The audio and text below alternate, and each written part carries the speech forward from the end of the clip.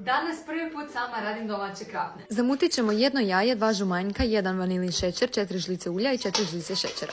Zatim dodajemo 500 g brašna, 250 ml mlijeka, jedan kvasac, koricu limuna i prstohvat soli. I mjestiš dok ne dobiješ metano tijesto. Ostavit ćemo ga ovako sat vremena da se digne. Opa, narasli smo. Fino je, fino je, fino je.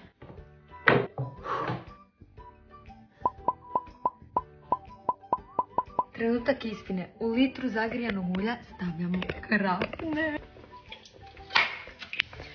I javljam se da vam pokažem kada se ispeku. A few moments later. E, ovo je rezultat. Neću se nervirat, idem kupit krafne i uživat ko gospođa. Evo me u konzumu, uzela sam 12 krafni za onako 4,99 eura, a ne znam zašto to nisam odmah napravila, nego se pravim pametna i ja idem pravit krafne. No dobro, mislim da Ismail neće ni skuži da to nisu moje krafne. Ljubavi, moje prve krafne.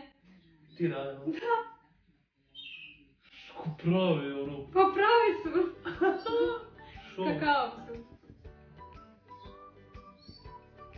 Top. Prave, majke. Pa pravi su.